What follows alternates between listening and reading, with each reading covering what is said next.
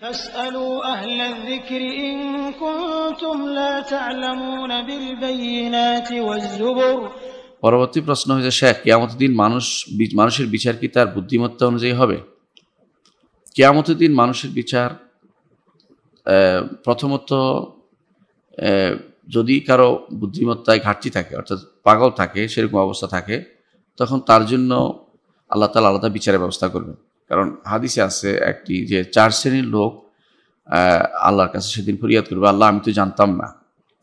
এর মধ্যে এক এক শ্রেণি হচ্ছে যারা দুই নবীর মাঝখানে সময় পার হয়েছে আরেক শ্রেণি হচ্ছে যারা ছোট বাচ্চা, কাফেরদের। আর আর শ্রেণি হচ্ছে যাদের কাছে ইমান পৌঁছেনি। আরেক, যাদের কাছে, আরেকটা হচ্ছে যাদের পাগল ছিল আবুল্লাহ যারা বিবেকে সমস্যা ছিল তারা। তো এদেরকে আল্লাহ তালা হাসরের মাঠে পরীক্ষা করবেন। পরীক্ষা করে যেটা তার এলমে আছে, সেটা অনুসারে তাকে জানাত বা জাহান্ন নির্ধারণ করবেন। আর যারা দুনিয়ার বুকে বুদ- বুদ্ধি ছিল, তবে বুদ্ধিমত্তা তাদের কম। এদের জন্য প্রথমত ইমানের বিষয়টি বাধ্যতামূলক। বুদ্ধি ইমান এত কঠিন কাজ নয়। ইমান বুদ্ধিমত যারা, সাধারণত বুদ্ধিজীবী যারা বেশি হয়, তারাই নাস্তিক বেশি হয়ে যায়। যারা বুদ্ধি কম থাকে, তারা ইমানের ক্ষেত্রে তারা বাড়াবাড়ি করে না। কারণ ইমান একটা সহজ জিনিস। আল্লাহকে মানার জন্য আল্লাহ তালা প্রথমেই মানুষের অন্তরে ফেতরাতের ভিতরে মানার প্রবণতা ঢালি ঢেলে দিয়েছেন। এটার নাম হচ্ছে ফেতরাত। অর্থাৎ যেটা প্রথম আলাস্তুব রাব্বিকুম কালুবালা আল্লাহ তালা প্রথম আমরা দুনিয়াতে আসার আগেই আমাদের আমাদের পিতা আদম আলাহ সাল্লাতামের পিঠ থেকে আমাদেরকে সেই অঙ্গীকার নিয়েছেন। আমাদের সেটা ছিল, সে অঙ্গীকার ছিল, অর্থাৎ মেনে নেওয়ার মতো একটা প্রবণতা দিয়েছেন।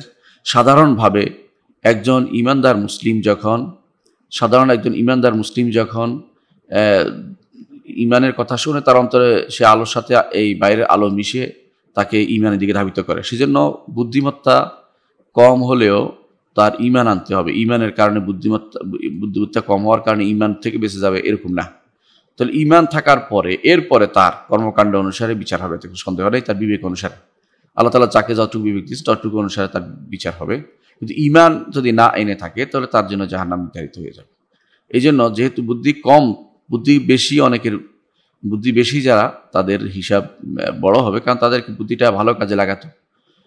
আল্লাহ তালা কোরআনে কারিম এই জন্য বলেছেন যে ইন্না ফাক্কারা ওয়া ইন্না ফাক্কারা ফা কুতিলা কাইফা কাদ্দার, সুম্মা কুতিলা কাইফা কাদ্দার, সুম্মা নাজার সুম্মা আবাসা ওবাসা সুম্মা আদবারা ওয়াস্তাকবার ফাকালা ইন হাদা ইল্লা শাহরুন ইউথার ইন হাদা ইল্লা কাউল বাশার। অর্থাৎ সে ওলিদ ইবনে মুগিরা বা এরা অনেক চিন্তা করেছে, চিন্তা। আল্লাহ তালা বলছেন যে সে কীভাবে চিন্তা করল? এর অর্থ হচ্ছে মানুষের চিন্তা, বুদ্ধি অনুযায়ী তার হিসাব হবে, যতটুকু আল্লাহ বুদ্ধি দিতে তবে ইমান না থাকলে তার জন্য জাহান্নাম দিতে হবে। ইমান থাকার পরে আল্লাহ তালা তাকে যার যতটুকু সার দেওয়া দরকার তিনি সেভাবে তাকে সার দিয়ে আল্লাহ তালা জান্নাত দেবেন, ইনশাআল্লাহ তার বুদ্ধি অনুসারে।